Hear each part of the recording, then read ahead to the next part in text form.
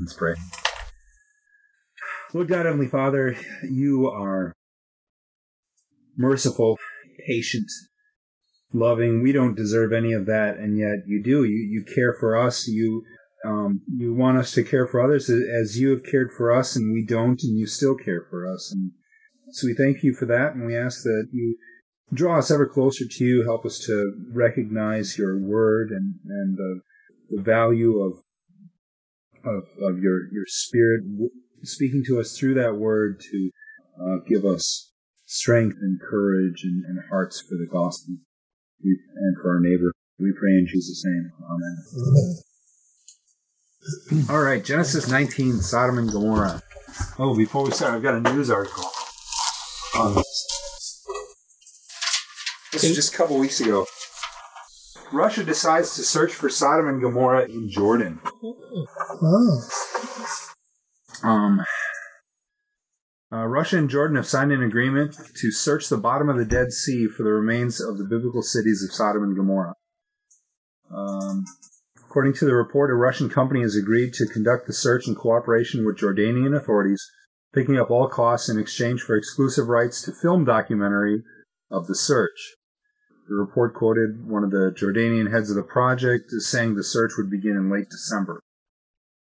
Um, so, yeah, uh, biblical archaeologists have several theories as to where the uh, Sodom and its associated cities were located, according to the Torah, the first five books of the Bible, uh, specifically Genesis. Um, God overturned Sodom, Gomorrah, and three other cities because of their degeneration, sin, and iniquity, turning a once fertile plain into a stark wasteland. Abraham, who prayed for the cities, was unable to prevent God from mandating their destruction. Archaeologists and geologists have suggested that a major earthquake or meteor storm might have been the means by which it occurred. Research is centered on the area around the Dead Sea and the modern city of Sodom and nearby Mount Sodom, which is made almost completely of rock salt, is considered the most likely site of the ancient cities. However, some archaeological evidence has emerged that indicates the site could be on the east bank of the Dead Sea, which two sites in Jordan, I'm not going to try to pronounce them, uh, both considered viable candidates. The Jordanian Russian search will center on one of them, which also has several Christian monuments. So, just, you know, kind of interesting. Um, also mentions uh, some things that were found in NASA photographs, uh, indicating the bottom of the sea is littered with debris and objects not found in other bodies of water, and so they want to examine those, find out what's in those, what those photographs are finding. Um, and since it's on the Jordanian side of the Dead Sea, they need to get permission. Do you know if they started? Uh, it just says, yeah. Th- well, this is a, um, Or is it de- December of 2011? um, this was 14 December 10. So this is in mid-December that this came out, and it just says we'll start in December. So I would assume that that means they've started by now.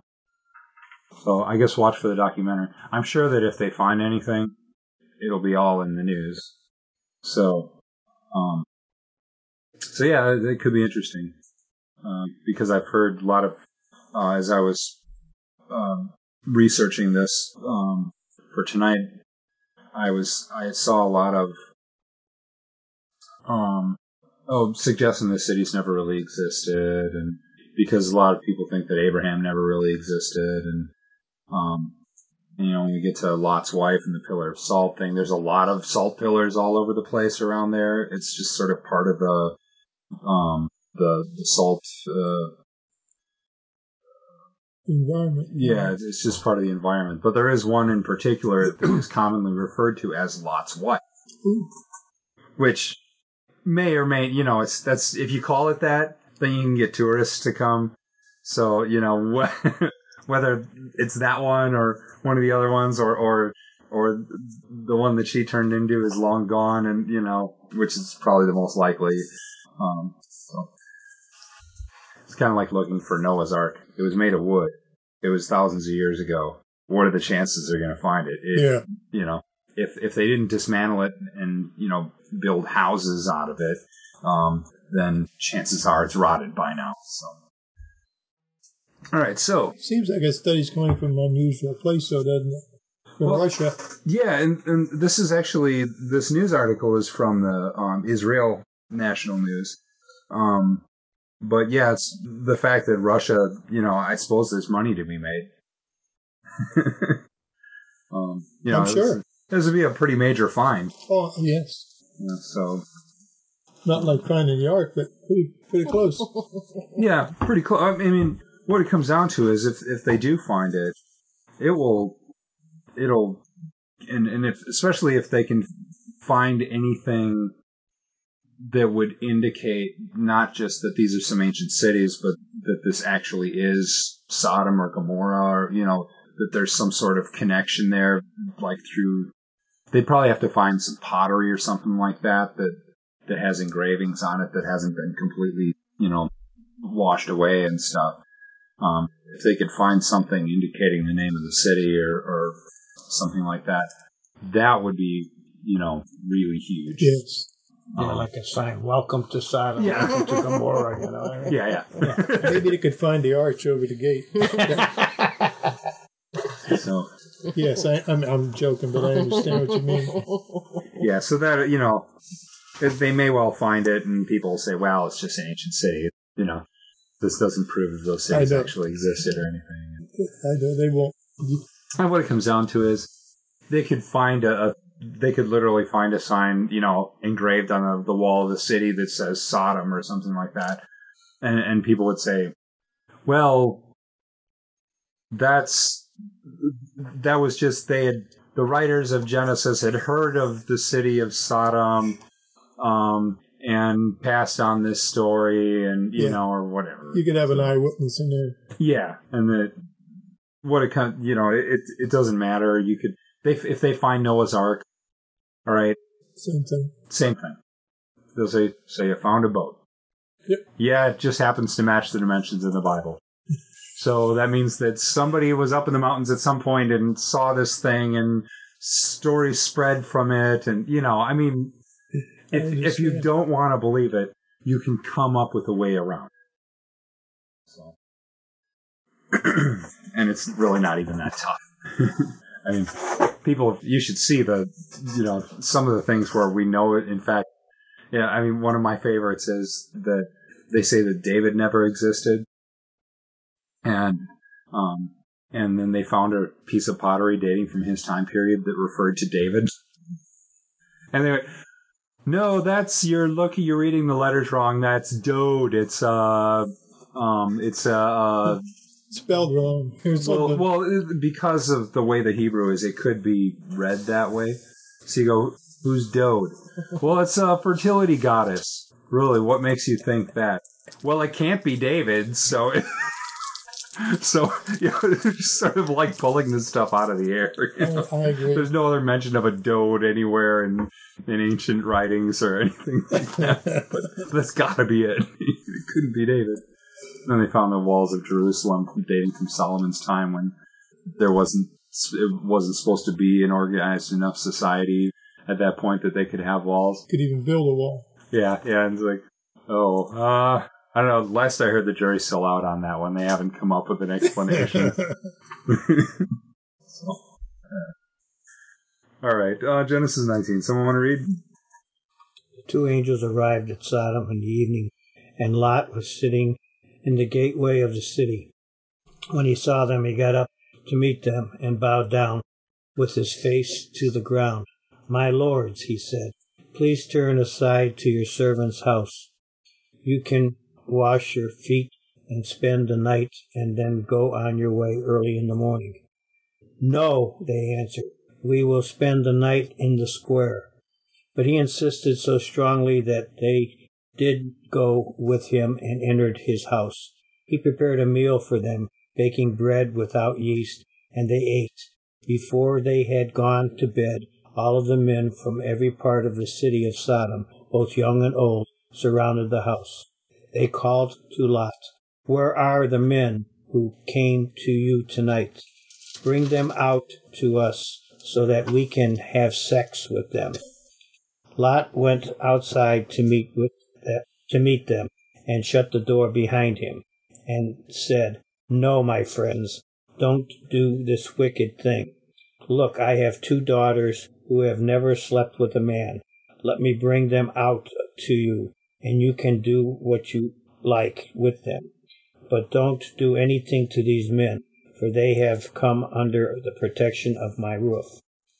Get out of the get out of our way, they replied, and they said, This fellow came here as an alien, and now he wants to play the judge. We'll treat you worse than them. They they kept bringing pressure on Lot and moved forward to break down the door.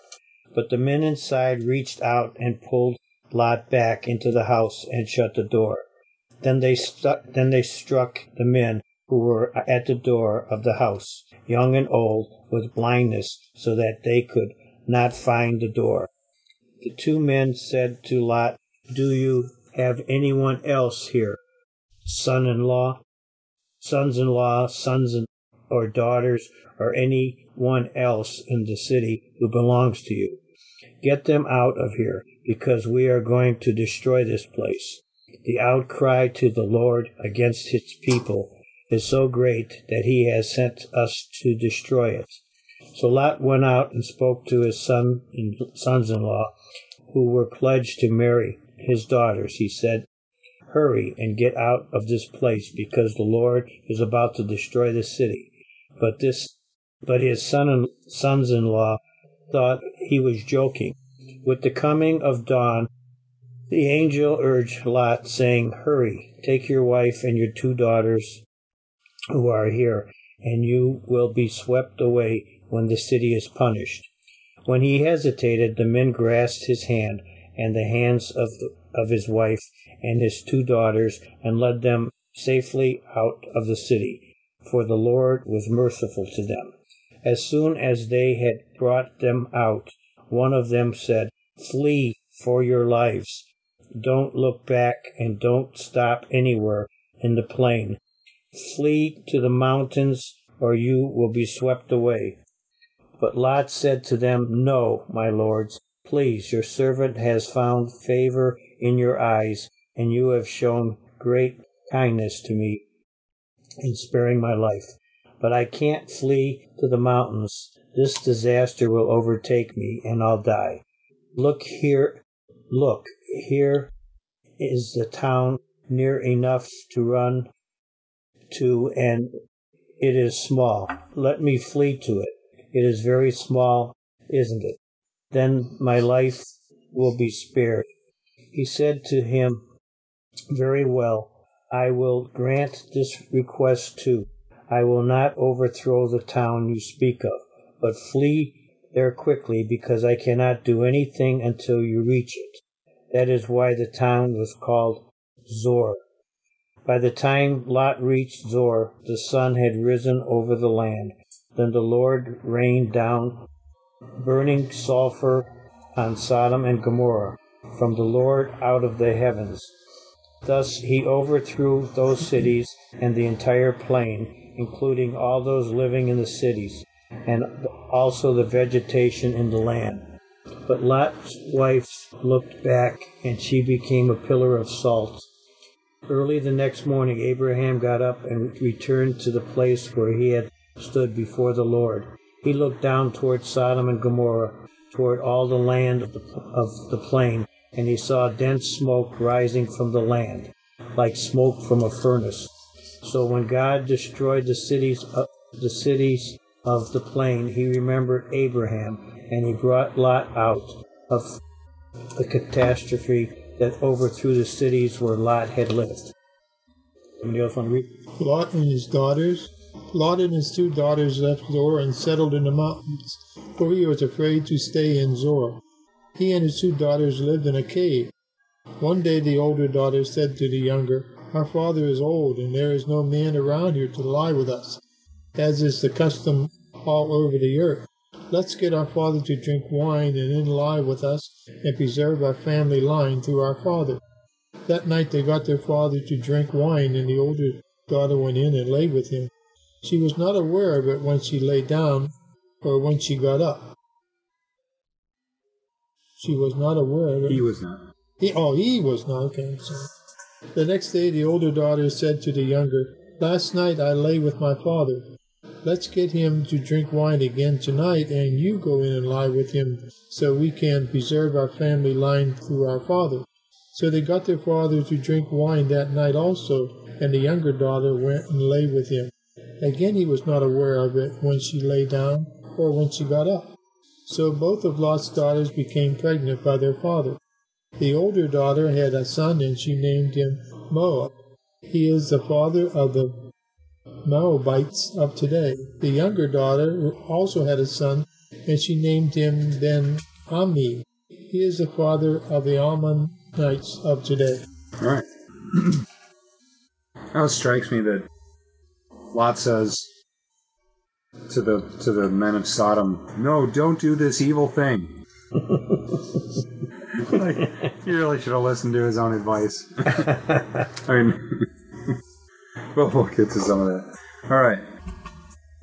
So, even though Lot chose Sodom, he's still called a righteous man. Uh, 2 Peter 2 7.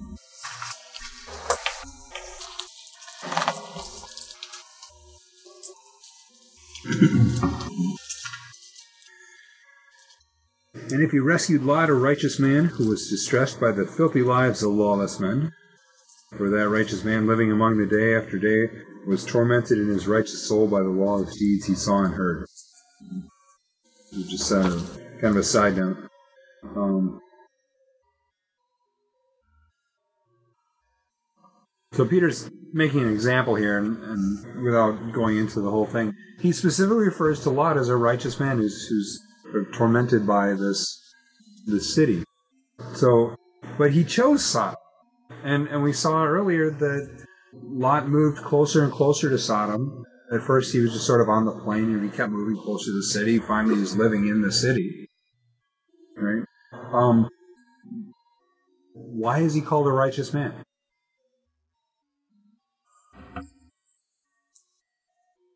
Because he saved the men. Okay. Because he was related to Abraham? Because related to Abraham. Okay. No. I don't know. All right. You know, this is this is a tough thing. And then, here's the thing. This is um we we look at, Ed Lot and, and we see that that Lot is really sort of um really to me at least he seems torn. There's there's serious advantages to being in the city. Uh, I mean, for one, just living in the city, you're protected by the city walls and that.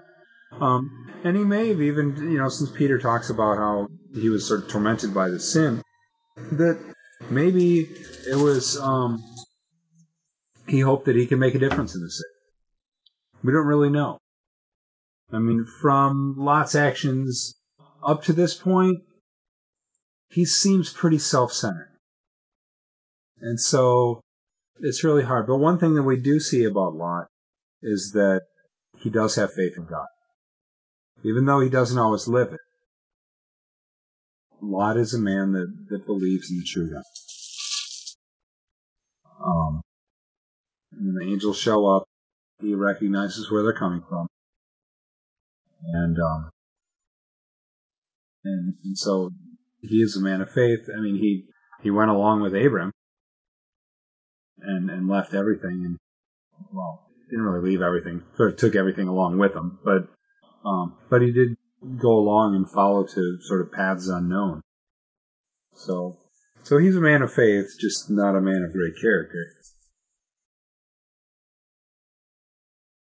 Right? So in 19.1 it says that they arrived at Sodom in the evening and Lot was sitting in the gateway of the city. What was he doing in the gateway of the city?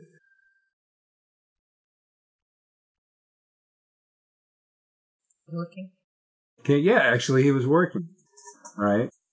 Anybody know what the city gate was? What was special about the city gate or why somebody would be sitting in there? That's Yeah, where they to be- do all the business, the city business. It was yeah, yeah. It was the equivalent of the courthouse. So this means the lot was on the sort of council of the city. That he was uh that's where they settled disputes and, and things like that. so that means that you know Lot. You know later on they refer to him. Oh, you're you're not from around here or whatever. But he, they knew who Lot was. He was a a prominent member of society.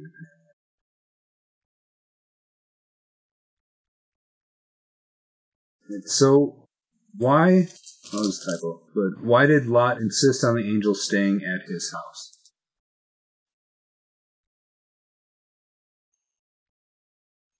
I believe he, he did believe.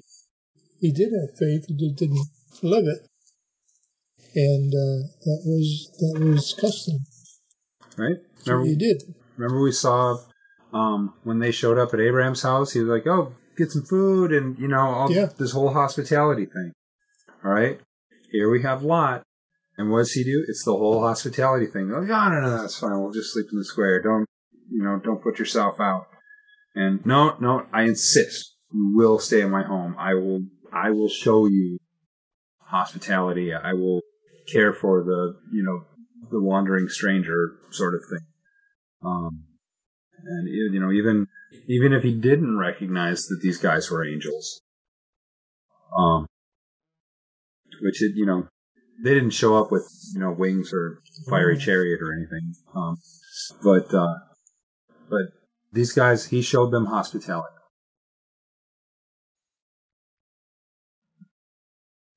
Right.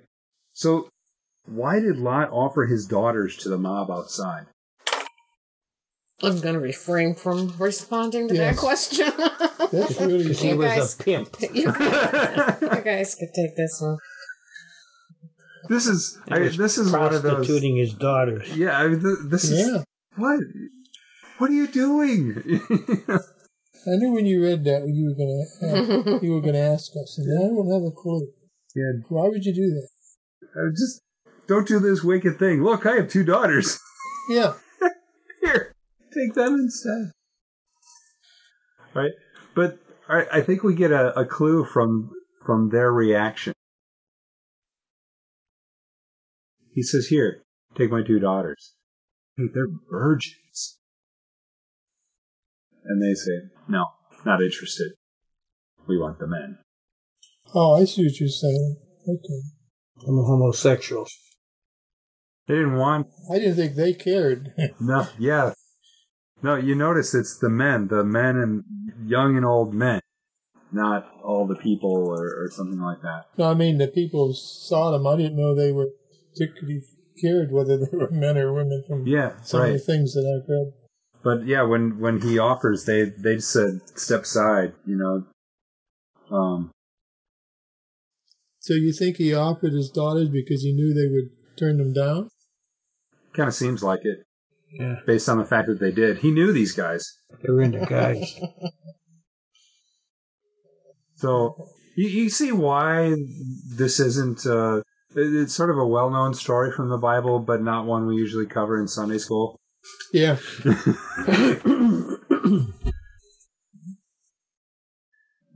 Um, and if and if you do cover it in Sunday school, you've got to. I mean, you, you sort of pick about three verses and like, all right, you get the gist of it. There was there was some bad people there, and God rained down fire. Okay, end of story. Not actually going to have ask anybody to read it from the Bible. We're just going to give you a quick summary. Now you see where the fallacy is that It took me until I'm 75 years old to know why, because nobody would talk to me about it. oh, but but you know what? The, um, there's there's more to it, and the thing is, when when it is talked about, um, well, and and it's where we get the word sodomy. Um, and but the thing is, there's more to it than that. Oh wow! Hold on. What? I've been looking for this. I just I've been looking for this for a couple of weeks. Really? It was- Sorry, What is it? it's my voice recorder that I use for that I set on the pulpit when I um when I record my sermons, and uh, so That's amazing. well, it's uh, you know it's Miracles. Yeah. Yeah. Well, it's, it's black and silver. It was sitting on that Blends black and right silver in. computer. It's completely blended in. I've been turning the house upside down, turning my office upside down, looking for that thing. Sorry. This is, this is more That's than the okay. Bible. I'm happy you got it. All right. Um. All right. So now here's the thing. It may be that that Lot knew that they weren't gonna. They didn't want his daughters. Based on the reaction, that seems to be the case. It could be that um that his sense of of hospitality was so strong that um that that he would defend his guests over his daughters, but that seems I don't believe unlikely. that. no, I don't think that's. So, or or that somehow his um his sort of moral center was so messed up from from being in this I community. that. I mean, ultimately, we don't know why he did that. Um, they're supposed to be virgins who are engaged to be married, and and if the men got a hold of his daughters and they were no longer virgins, that probably would be the end of the marriage, probably. Possibly, yeah, yeah. Since back then, um, and and still in some countries today, but uh, in a, a lot of those ancient cultures, um, after the wedding night, you hung the sheets out to show that yep, they were virgins. Which is really kind of creepy, but Yeah. a lot of That's strange our- customs. our, our Western sort of. so, all right. So, why did Lot have so little influence over his sons-in-law? Oh, I don't really know. Right? He's going, come on, they're going to destroy the city. Ah, no, they're not. You can't fool us. I don't have a clue. I mean, and and he obviously spent some time with them because it was. Um, they arrived in the evening, and it was it was sun up when finally the angels say, "All right, let's go." Right. So he's, you know, it's it's he's spending several hours. We don't know how long this whole sort of riot thing um, lasted, but there was some time that he was arguing with his sons-in-law, saying, um, guys, really, just just trust me. If it turns out to not happen, you can go back. All right. Is it possible that, and it suggests in, in my Bible, that they thought he was just fooling around, not that he was lying or they didn't believe him? Yeah. They just, they thought he was, maybe he was that kind of a person he was. Maybe Could he be. did stuff like that. Yeah. Yeah. No, you you you tricked us last time. We're not going to fall for it this Uh-huh. time. I thought it was just some practical joke or something like that. Yeah. It sort of seems sounds like that's what that's what they thought. And I mean, you'd think that over time that no, really, you know. So when when they finally left and the angels are sort of dragging them out of the city, you just sort of picture the sons going, "We're not fooled." Yeah. Wow, you guys are really taking this joke long ways to try to convince us. I don't know what else to say. That just sounds like it to me. All right, and then in verse 16 it says, uh, When he hesitated, the men grasped his hand in the hands of his wife and his two daughters and led them safely out of the city. All right? Why did he hesitate? I don't think he wanted to go read it, did he? No, he really. But he had everything He had there. everything- Yeah. yeah. He was, Everything he owned wasn't there. yeah. You, you think He about was it. a material kind of guy. yeah. Yeah, here's, wait a minute. You're going to destroy the city. All my stuff is here. if you're dead, it doesn't matter. yeah, right. As like the the story goes that um um when Mount Vesuvius destroyed the city of Pompeii and they sort of dug it up, they found uh um a woman inside of a house that that or uh, as they sort of cut through the the solidified lava. Um, they found the the body or skeleton of a, a woman um, in a house clutching some piece of jewelry where they sort of gathered from what they found that she had they were fleeing the city and all of a sudden she realized she there was this piece of jewelry back in the house and it was going to be destroyed and so she went back for it and didn't get out in time and you know you hear stories of, of things like that people in fires and, and things like that Running in to save their cat or something like that. yeah or you know even Not even.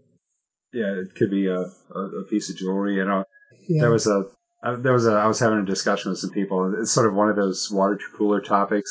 All right, if your house was burning, you could grab one thing. What would it be? Oh, it was me. well, one, you know, assuming your family is, is safe, you Yeah. know, just enough time to to grab one material possession. You know, what would it be? The Bible. Oh, see, I wouldn't grab my Bible because I can always get another Bible. Um, so I'd, I'd grab my laptop because I don't have an online backup of most of it. um, I know my wife would, would grab as many uh, photo albums as possible, but I've got more pictures on my laptop and, and her laptop than we have in photo albums. Although the ones in photo albums are older, so it's kind of a toss up. but uh, I think the photo albums make the most sense, though. yeah, I Yeah. think that's the only thing photographs. I mean, I have backup on my computer, but it's from here to your purse, away from the computer. So Mhm. if the computer goes, it goes too. right, We used to always say, like, if we'd go someplace, I'd say, "Oh, I think I left the iron plug there," and Greg would say, "That's why you have house insurance." he goes, "We're not there, so nobody's going to get hurt, so it really doesn't matter." You know, that's the only thing I would, you know, when, you, when people have floods, and the mudslides, and everything, that I don't even think we can grasp tornadoes and they lose everything. You know, in the rubble they'll find We one had thing uh, that yeah, when we had our flood here in '88, we lost everything. We lost. Uh, fortunately, we didn't lose the pictures that were upstairs, but we lost all the movies, all the eight millimeter movies we took of all the kids as they were growing up and everything. And they were able to salvage one piece of it, and it was about 15, 20 seconds long. We still have that, but yeah, we we lost that stuff. And my Bible. accidentally taped over the first year of Kimberly's life on videotape. It wasn't Oh. labeled properly. I Teresa is still Oh. speaking to you. yeah, I actually told her once I discovered it too, because, which was probably dumb. But we, this the tape just disappeared. and We couldn't find it. Couldn't find it. Couldn't find it. And then there was this one that we had recorded a movie off the TV, and and I rewound it, and um, and I mean it was labeled the the side of the table is labeled with the name of the movie, and um, and I and I I put it in. I, I can't even remember what I was doing. I, was, I think I was checking to see if there was anything else on the tape or something like that. And right at the beginning, there's this this like two second clip of us sitting on the couch talking to the camera with Teresa pregnant with Kimberly. And it was like a couple days before, you know, that we were like gonna say this little message to her or whatever, or baby, whether, you know, we didn't know boy or girl, whatever. And, and I saw that and I went,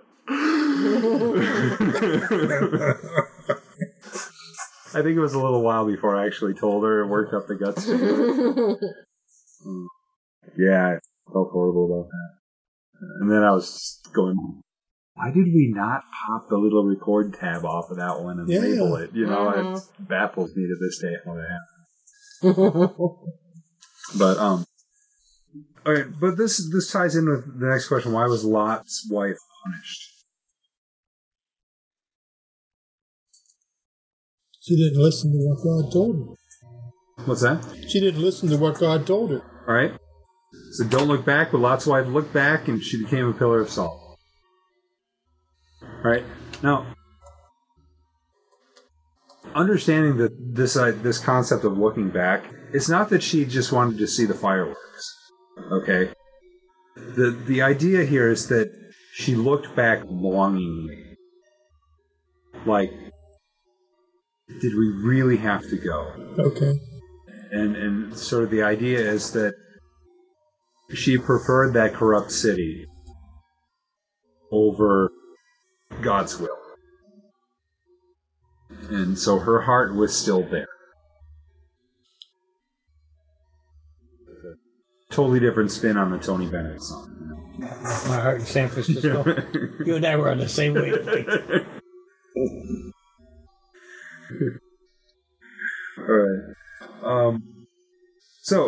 destroying two entire cities seems harsh. What warranted it?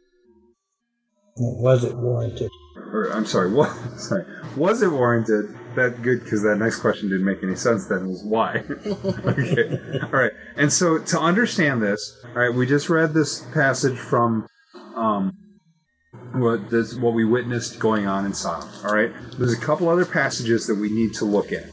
All right, Ezekiel 16, 48 to 50, and Matthew 10, 11 to 16.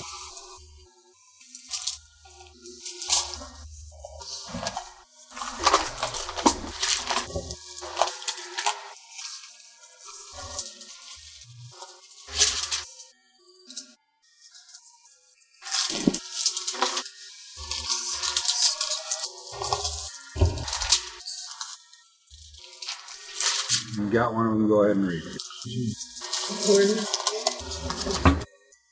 As surely as I live, declares the sovereign Lord, your sister Sodom and her daughters never did what you and your daughters have done. Now, this was the sin of your sister Sodom. She and her daughters were arrogant, overfed, and unconcerned.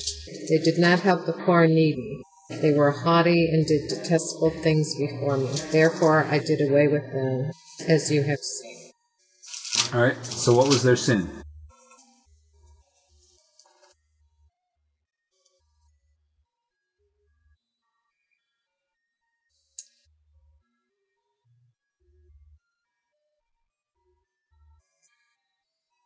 Well, they were Arrogant, overfed, and unconcerned.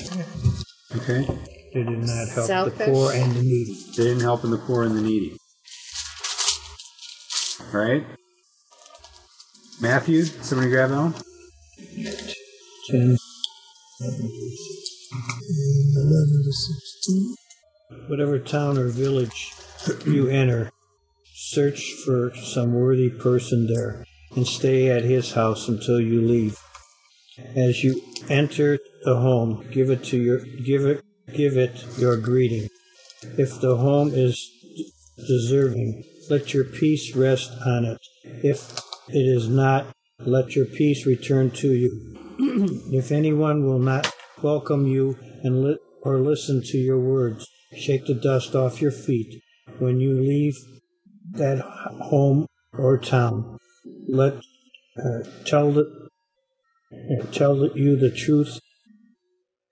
It will be more bearing for Sodom and Gomorrah on the day of judgment than for the, that town. I am sending you out like sheep among the wolves. Therefore, be as shrewd as snakes and as innocent as doves. So the um how are how is this how is Sodom and Gomorrah referred to here in reference to what?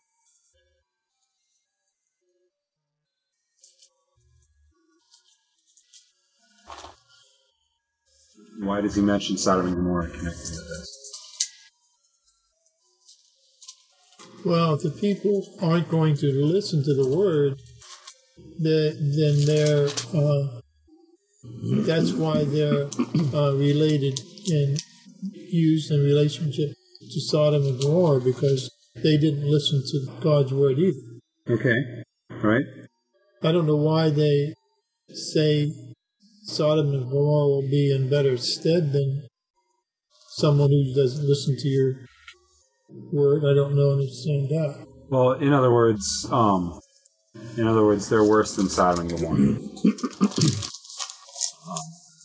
Wow. So, they didn't do it either. So I don't understand why. well, in, in other words, it's like, well, they've they've had the warning. Sodom and Gomorrah didn't have the same warning, Okay. right? That's something that, that Jesus does a couple times, where where he'll say, um, you know, there's another place where he says it would be better for Tyre and Sidon than Capernaum, I think it was, um, or Nazareth, because he says, look, you you guys had the message preached to you, they didn't. Okay. Um, so, you know, you should have known better. And in this case, these cities, they should have known better because they saw what happened to Sodom and Gomorrah. Oh, Right. okay. So, all right, if they they won't listen to the word, and, and what's the other thing that that these cities are supposed to do when the disciples come? Welcome them in and do just exactly what Lot did. Yeah, all right. So, both of these cases, both Matthew and Ezekiel, what are they talking about? Hospitality. Caring for the wanderers, the strangers, the um, you know, the people in need. See, I, I see this over and over in um, groups that are the sort of real outspoken anti-homosexual groups that they focus on Sodom and they focus on this bit where um, about the they'll send out the daughters and they don't want the daughters, they want the men. All right, and they focus on that and they say, well, Sodom and Gomorrah were destroyed because of homosexuality. There was such a horrible sin that, that God destroyed the cities because of that. Well, Ezekiel says that no, it was because of you didn't care for the poor and the needy, and and um and that that attitude just led to all kinds of horrible things. So really, the um that the the sexual perversion was just a symptom of the bigger problem that you know because really what they what these guys i'm not even sure that this was really homosexuality as it was some sort of rape which is not a, a rape is not a sexual sin it's a violent sin right because it's not done out of to meet some sort of physical need it's to exert power right when you get into abuse situations and stuff like that it's it's all about power right and so here's some wanderers, and, and we gotta we gotta show these guys that we're in control, that we're you know, yeah, show them power. You know, you think of where that becomes really obvious. You hear the stories about prison and stuff like that. It's all about it's about pecking orders and, and things like that. And um, and, and so so really, the the whole sort of homosexual thing that's secondary at best. But that's the thing that everybody sort of hones in on. But if you look at where the Bible talks about um, about Sodom and Gomorrah and other places, no, it's really the hospitality.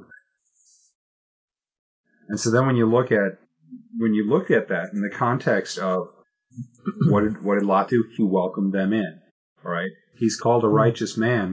Why? Because he welcomed them in. Because when they said no, that's fine, we'll just go sleep in this in the town square, he said, uh uh-uh, uh, you're staying with me because that is my duty. My duty to be hospitable. All right. So we see that Lot wasn't completely self-centered, but we also see this. You know, what what was the story we had right before this? Abraham. and what is what does Abraham express? Hospitality. All right. What's the answer to the question? So was it warranted? Yes. Well, Well, these guys, they were definitely not hospitable. All right? they said, hmm. welcome them into your home. No, send them out so we can rape them. Hmm. That's a that's a heck of a welcome wagon. I mean, that's a. Can you imagine a city that their their culture is is based on you know that oh boy if someone happens to wander into that city what's going to happen to them you know it's up to god when it comes to judgment that's a pretty rough city yeah, that- yeah. That's pretty. That's that's really the Reader's Digest version for sure. Yeah, well, There's a lot more to it than Yeah, just well- that. you know, the point is like, okay, this is we'll tell you enough so you kind of need to know what's going on. Yeah. You really don't want the details. Okay. I mean, it's it's bad. It's already rated R.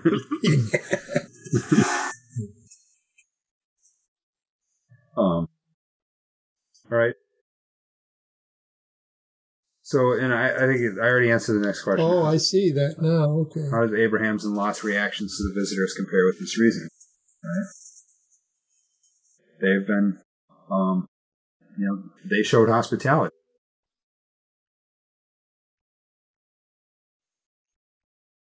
So that leads to the next question: Is what lesson can your house learn from Sodom and Gomorrah?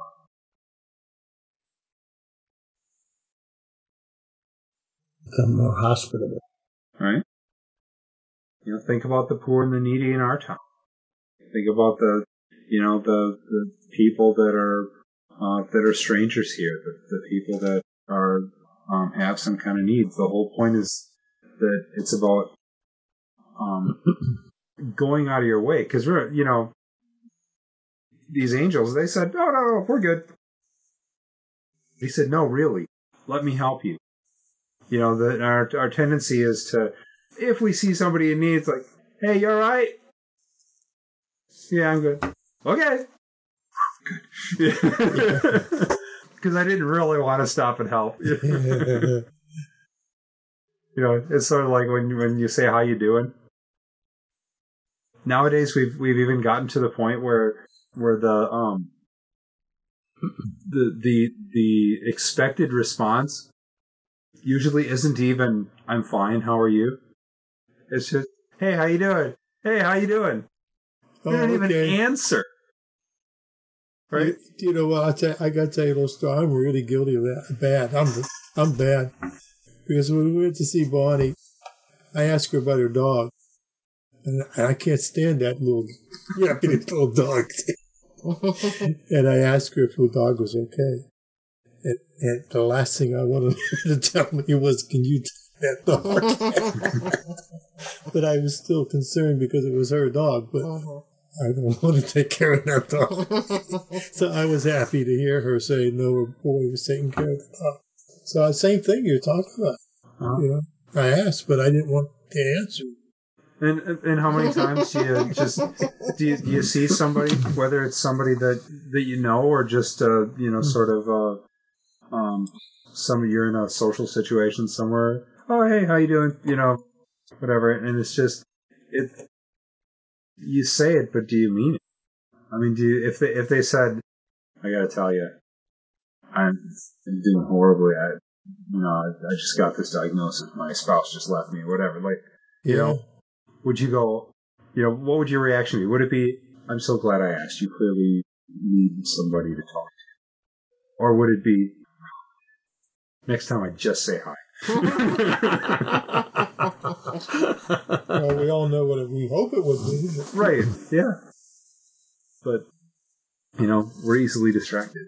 And, and, you know, when you, when to, to really connect with somebody's life, and, and especially when things are not going particularly well, when they really need somebody, that takes that takes work on our part. Yeah. Now, see, I would have taken the dog, but I wouldn't have wanted to. Sure. right. Um, this also the next question, sort of connected with this, is what lesson can your church learn from Sodom and Gomorrah? This is something for us to think about, and I think it's something that we've been kind of talking about lately. Um, not necessarily in, the, in these same terms, but this is the question that all churches should be asking on an ongoing basis: is how can we be more hospitable to our community, to the to those who are passing through, to those who you know that are in need of some kind of help, and you know whether it be uh, you know some sort of financial help. I was something I've been thinking a lot about just in the past 24 hours is um, you know even if somebody stops by and they just need some food or something like that, and and we you know give them a gift card or whatever. I think that's great. Um, but at the same time, if we only give them that, are we doing our job as a church? Is there, you know, is there a way to say, here, this will help your immediate need, but really tell me what can I do? Let's, you know, let's see about seeing to your needs more long term. Let me help you get connected with, um, you know, whatever social services you need, whatever financial help that you need, you know, whatever it is. How can I be more hospitable? And some people, um, I mean, a lot of people, they don't want the help. They they just want the quick fix. A lot of people they've gotten themselves in that situation in the first place because they're always just looking for I just you know want to get through today and I'm not going to do any long range planning. But at the same time, you know, are we even offered? What can we do to to try to be more to at least offer that to everybody who's willing to accept it? I don't. I don't know. I don't. I don't know if we do or not. Well, I think that's something that we need to be talking about as a church. Yeah. All right. Um. All right. So if this upsets God so much, this this lack of hospitality, this lack of caring for people in need, what does this tell us about the character and priorities of God?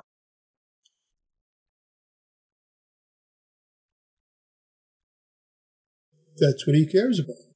Yeah. You know, this is Everybody.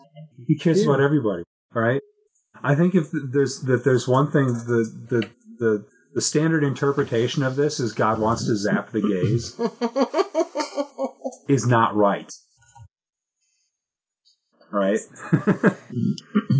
I think if anything we get from this is that even if you're um if you are not a, a sexually pure sort of person, like Lot, right? that God still loves you. And while clearly um, the this next episode about Lot and his daughters um, is not sort of go and do likewise, um, yet God still loved Lot. Um, and in fact, um, oh, we'll get we'll get to that in a second. But how we see this character in the ministry of Jesus. You see Jesus going, um, you know, Jesus spent a lot of his time in Galilee. That's the where, he- worst part of towns where the people needed the most help. yeah, The poorest people. the poor, the sinners, the the the, the modern term is marginalized, Oh, well, that makes it sound pretty. doesn't it? I mean, you know, we should the uh, you know probably you know better term would be the you know the sort of skid marks, the people that have been driven over, right? Um, and and in fact, in our society, I would consider the homosexuals as part of that group that feel ostracized because they're not accepted and that they're they're told that they're bad and all this kind of stuff. Now, the, you know, does that mean that, that God says that that acting on those tendencies is is okay and good? No, right? But we've got to do everything we can to reach out and love to those people instead of just um, sort of stomping them or you know carrying signs around and protesting them or you know or whatever else. And, and the Christian church as a whole in America has done a horrible job of that. Carrying signs? Well, no, not not so much that, but but of, of of reaching out to people that whose lifestyles are not um, in line with what God would have them be, or or what you know, or even in, in some cases what we think they should be, which isn't always the same thing. Um, but you know, we we we expect people. It's sort of like, all right, if you want to be a Christian, first you got to get your life in order and then we'll tell you why. then we'll share the gospel with you. But first, you got to get rid of all that, you know, all that bad stuff. Well, why should I? You know. But if I tell you about Jesus and the love that He has for you, and, and offer you, you know, something more, then maybe you've got a reason to say, well, hmm, God is really great. How can I live for him? You know. But if they don't know how great God is and they just see him as a condemning judge, then what's the point? Well, I'm not going to please him anyway, so. I don't know that I've ever done that. Well, you may not have. I, but I sort of, don't know. I don't know that we do. I, I can't. I only know one person, two people that are funny, kind of. I don't know that I ever treated him any different. and, you know, not everybody does. And, and I but wonder if we do as a church. I don't. I don't know. I would guess that this congregation probably not as much. We tend to be pretty accepting of sort of the fringe, so to speak. But I can't say we ever had a couple come in as a couple. No, and, and how would how would the I don't know what we would react? do. Yeah. Could always hope for the best. Yeah. And you know, I think men I think it's really weird. men seem to think that that men queers, what you want to call them, are gross, but women queers, it's okay. I've never understood that. We do that, don't we? But yeah, yeah, and know. that's that's like sort of embedded in our culture too. I I don't understand that. You know what I don't understand is there's so many kids in high school who say they're queers. Why would they even say? it? I don't understand why you would even say something like that to anybody. Well, in some parts of, of our culture, it's celebrated. It's seen as preferable. That's a you know that's a whole another topic that we're already running late. Yeah, So. okay. It, it, I'll I hear it a lot with from the kids, and I just wonder. Thinking back in school, we probably had some funny kids in school. I don't know if they ever declared themselves that way. well, probably not because it's a lot more acceptable nowadays than it used Yeah. to be. I'm probably thinking further back than I Um, realize. Just real quick, I want to hit these other ones. Um, you know, given Lot's actions, how can you still be called righteous? Right? Yeah, it was bad enough with the daughters there in those previous chapters, but now, Yeah. come on, really, Lot? No. You had no idea. Yeah, you know, you kind of wonder about that. Like, was he? Did he think it was his wife or something? You know, or was he that drunk? Nobody's that drunk. That's what I'm thinking. I'm sorry. Nobody's that drunk to not know they're having sex with their virgin daughters. Well, I it just. I would say, from a man's point of view, you no one is that drunk to father a child. You know, if he's may, that drunk, yeah. yeah, No. somebody may be playing with him or He might not with remember it the next morning. yeah, there you go. but yeah, at the time. It's hard to believe. Yeah. Right. Um, now, they're, the the children were the Moabites and the Ammonites. All right, and uh, those passages there, basically, they were better. They ended up being bitter enemies of the Israelites. Um, so yeah, this led to long term problems. At the same time, who else was born as a descendant of this union? All right, and the the first reference sort of gives it away, and it's Ruth. Ruth was a Moabite woman who married an Israelite man. Her mother-in-law Naomi was an Israelite, right? And she ended up also marrying Boaz, who was an Israelite, right? And then they lived in Bethlehem, and um, and let's see, if I remember my generations right, uh, he gave birth to Jesse, He gave birth to David who keep following the line down, you end up with Jesus. So, one of Jesus' um, ancestors, at least in in one part, is um, one of his ancestors is a Moabite, and so yeah, he could actually trace his lineage back to Lot's daughter Oh, to this this union. which uh, that sort of thing, and and and um, so so that's mentioned that he had a, a Moabite as his um, as one of his ancestors. Um, uh, Rahab the prostitute from the Exodus, she was one of his ancestors. He's got some pretty shady characters.